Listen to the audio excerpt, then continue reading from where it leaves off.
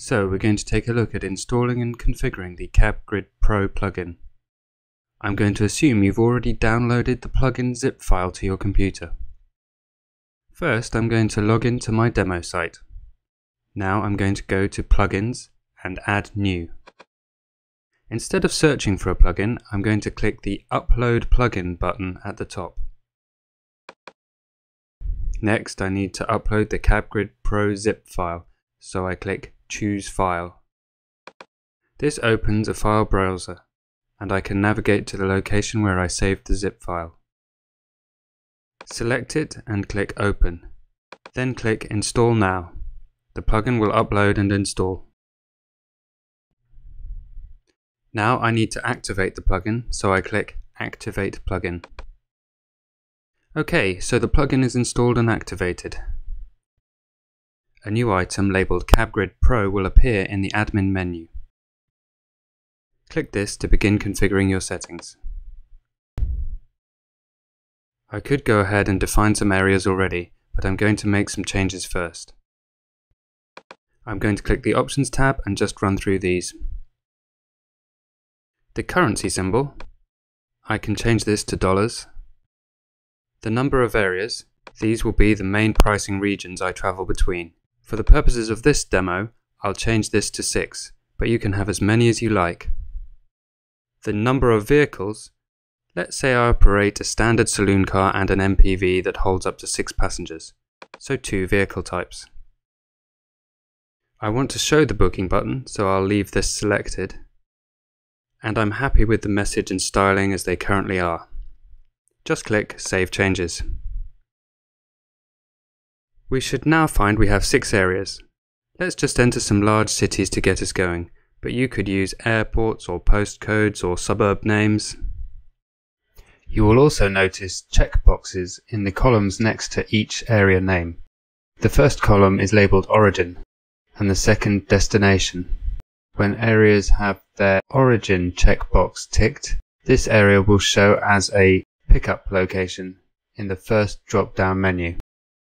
When areas have the destination checkbox ticked, this area will show in the destination drop-down menu in the CabGrid plugin.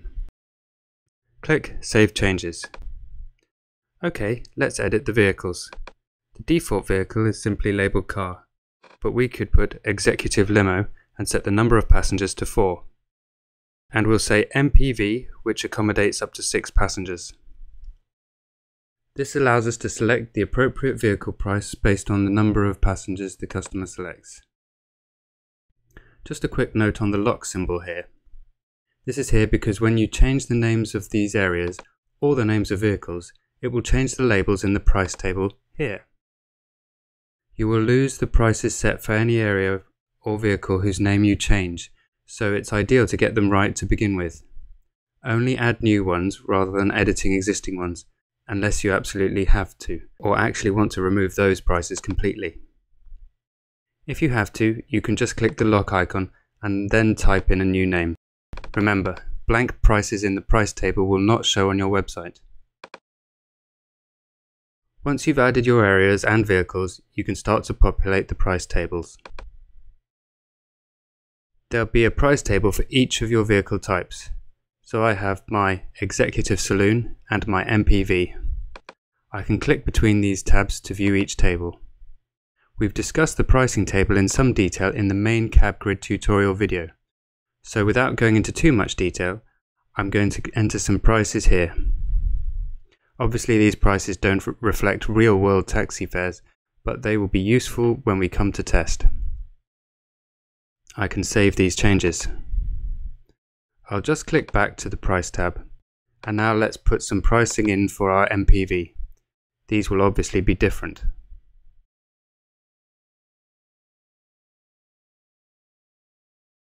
Save changes.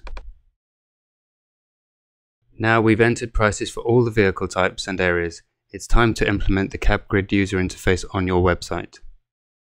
To do this we use the shortcode CabGrid Pro. I'm just going to copy this to my clipboard. Now I'm going to go ahead and create a new page.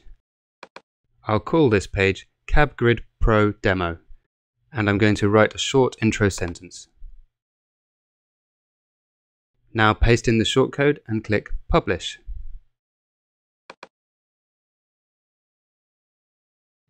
So let's have a look at the new page. Here you can see the CabGrid Pro table. Let's test it. First I'll select the number of passengers. Now I'll select a pickup area, London, going to Birmingham say. This gives me $12. If I increase the number of passengers to 5, it gives me $30 because it's now using the fare price specified in the MPV table. If I change the destination to Leeds, the price changes. Reduce the number of passengers to 3 and I get another price. Okay, if I'm happy with the price I can click Book and fill out the booking form.